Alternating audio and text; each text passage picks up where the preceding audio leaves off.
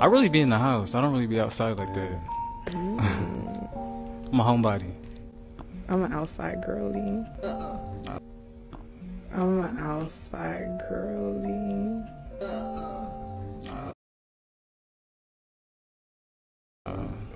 Okay, so if you were to go outside, what would you end up doing?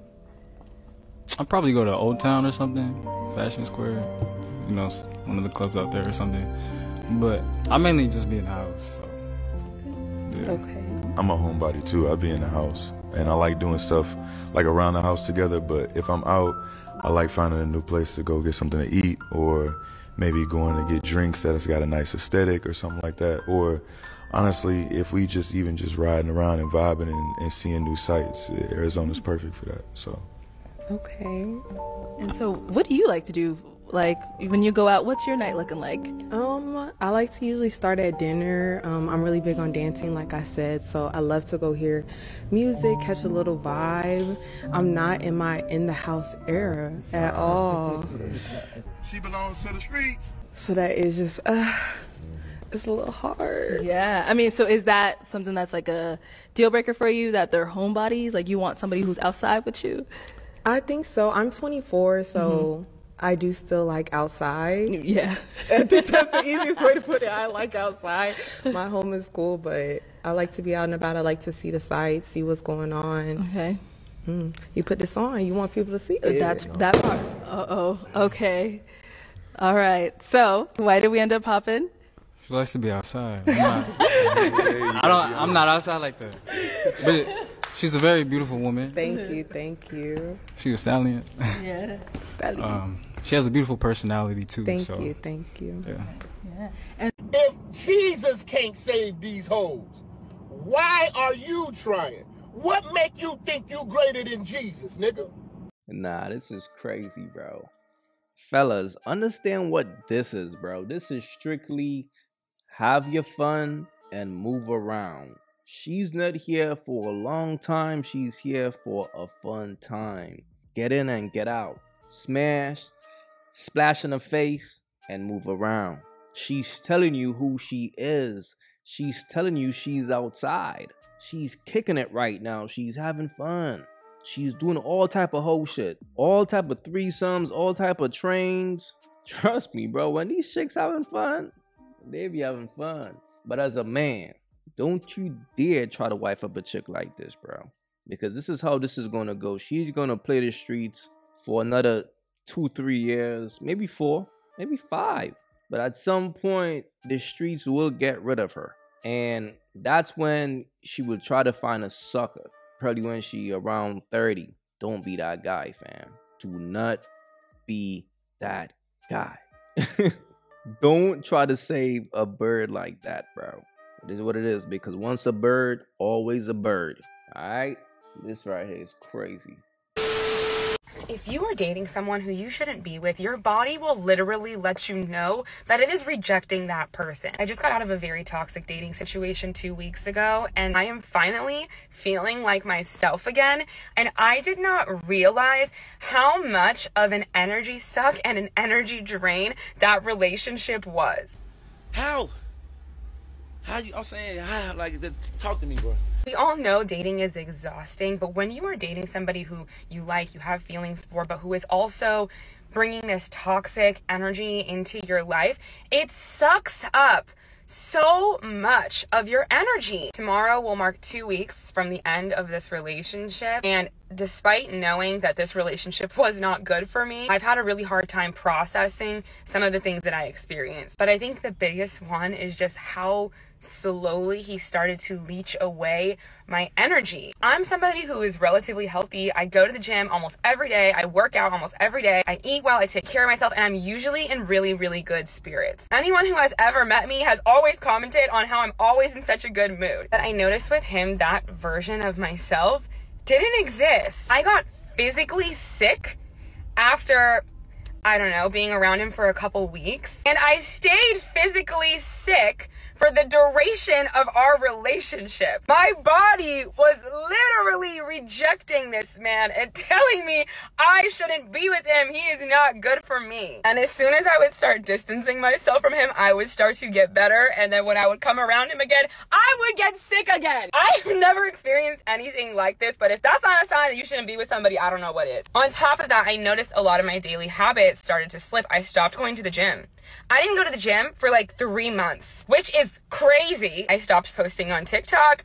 Some of y'all been commenting, where have you been? I didn't have anything to say. All my thoughts were consumed by him. And very slowly in the relationship, I started to feel like my voice was being taken away. And as I started to feel more and more like I didn't have a voice in this relationship, I started to notice that my voice outside of the relationship was also starting to dwindle. Like I said, I've really been struggling to process this because this was not a situation I ever thought I would find myself in. And I find myself sitting here like, how did this even happen? Looking back, I definitely see warning signs and I will let y'all know what those warning signs are so you can avoid falling into this same trap. But I think the biggest thing was I slowly started to not recognize myself. I did not like the person that I was when I was with him. So now that I have removed myself from him, it's taken me a little while to come back to myself. I'm giving myself grace. It's only been two weeks, but I've been forcing myself to do things that I enjoy again, forcing myself to go to the gym. Y'all think I wanted to put on some clothes and go to the gym? No, I've been forcing myself to get back. Today marks day four,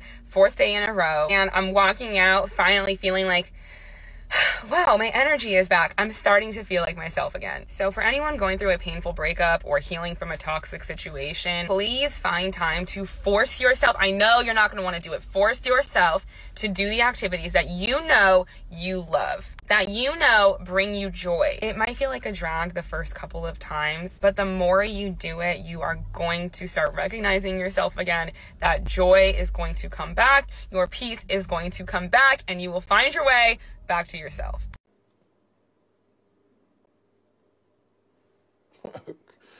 okay. Fellas, this is what a woman will say when she's ready to return back to the streets. A woman will make up any type of excuse to justify her behavior, right? But here's the thing. Women knows exactly what they be signing up for when they deal with a man. The signs are always there. But the reality is women love that toxic shit. They love it. That's what they crave. And it seems like when they are ready to return back to the streets, like when they are done dealing with him and they are ready to find another dude, they have to sound like this to make it seem that they are not who they are. To make it seem like, oh, you're not a hoe. It was him. He was hella toxic. He was hella toxic, but you was with him. But then you going to act like you don't like the toxic shit. And then she's gonna make up all these little, well, my energy was so off. Oh my god, he was draining my energy. It was him. So it wasn't you. and fellas, man, like I always tell you guys this, bro. If a chick got on hoop earrings, bro, it never fails. It's always a dead giveaway. Shorty, you a bird. It's mad obvious. It's so many single women talking about, God send me a man. Who gonna ask you for your number and when they see you, you acting like you don't see them? God for a husband. I said what I said. You asking God for a husband and you walking around acting like you don't see nobody. You see him say, girl, he looking at me. Look at him! Look him right in the eye and say, you looking at me? Because I'm sure looking at you. What you want to do?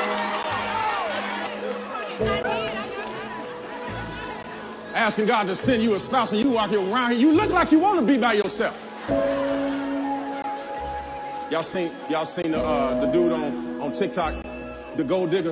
What he'll do is he'll he'll park his Lamborghini on the street and then he'll go holler at the girl and she's like, uh-uh, I ain't got time. I ain't doing nothing. He go back to his car. She's about, wait a minute. What you doing? Where you going? What's your name? If you don't get out of my face, I'll push you on the ground. If you don't want me for who I am and you only want what I have, that is me in the wine press. No, I'm not single, but they don't care still. they don't care about that.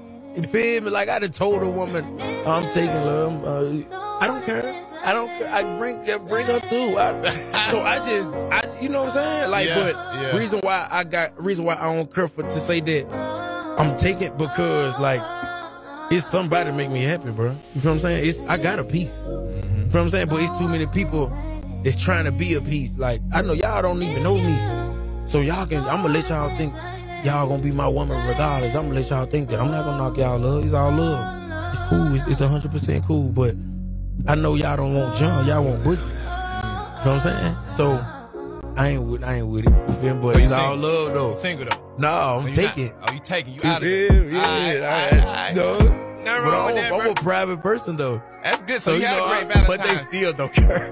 they don't. they still don't care.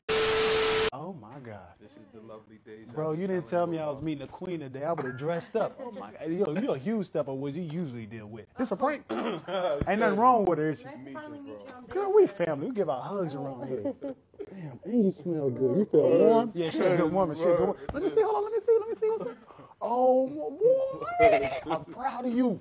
Proud of you, boy. Yes. Do your dance. It should have been me. Y'all ready? Y'all ready to go eat? So how did y'all meet? Um, so we actually, met. Hold on, wait, wait, wait, bro, bro. Let this guy to speak. I'm listening. Oh, uh, we actually met at the gym. I was on the squat rack. And so When you was on the squat rack, I need to see this. It sounds, it seems like a sight to see. that's what's up. So that's what you do for work? yeah, I'm a fitness coach and a model. Oh, okay, and bro sell drugs, so y'all kind of like a power couple. I ain't trying to hate, bro. Like, I like her for you, bro. Like I, I hope you're being faithful this time around, cause I know how bro can get when he come place it. Like his dick be everywhere. Let me holler at you for a second, bro. Okay. What are you doing? You embarrassing me. What you mean? Cause I'm telling the truth about you. Okay, bro. I'm not about to let you lie to a good woman again. I'm tired of that shit. Bro, you're worse than me. And I've been meaning to tell you that. Stop living in the past. I've changed too. Bring it down about three notches. All right, bet, bet. You want me to chill? I'll chill. I'll fall I, back. I beg of you to chill. All right, bet. If you need anything, you call me. I'm only one call away. Okay. Promise you you'll be around. Promise me you'll Yeah, be you'll around. see me with Christian. I don't really have to, but promise me. I need you. I need to hear you. You'll be around. Yes. All right, I love you, sis. Where you been? Zito wanted me to meet his girl for some reason. So you approving his girl, but she look good or something? She was alright. She was cool for him. Mm, yeah. She ain't me though. I know. I'm a lucky man. We're in. I'll be. I'll be in the shower. Now, fellas, understand something. This is funny, but it is also reality, bro. This is how your homie is going to be if he's feeling your girl. And I know some of you dudes be like, yo, my day one, he ain't never gonna. He's a man. If you got a beautiful woman, like if she's bad, if she's that, you gotta watch your homie, brother. That's just what it is. Because that's like dangling steak in front of a lion. Because there are some women who could bring out that nature in a man, even if he's mad cool, he's not even on that type of time. Some dudes just don't know how to control themselves. So, as a man, you got to pay attention to that. And also, you got to pay attention to how your girl responds. Because if your girl don't check that nigga and she's mad open and she's receiving that shit, it is what it is. She's for the streets. But fellas, understand, don't look at this as a joke. Look at this as reality, bro. Facts.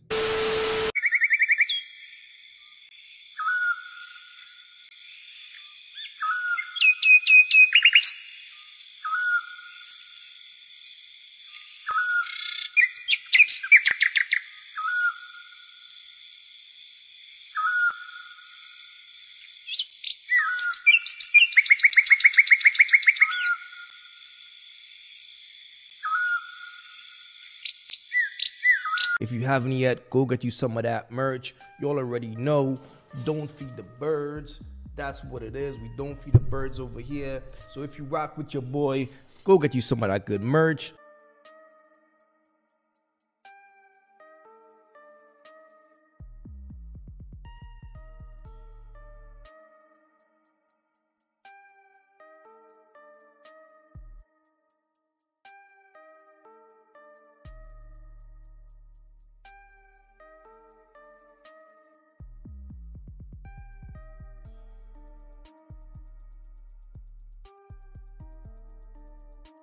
Y'all already know, man. STC support the content. If you guys haven't yet, go ahead and follow me right now on Facebook. I'm going to be posting content every day on Facebook. starting from today. Follow your boy right now, AyeQ Reactions.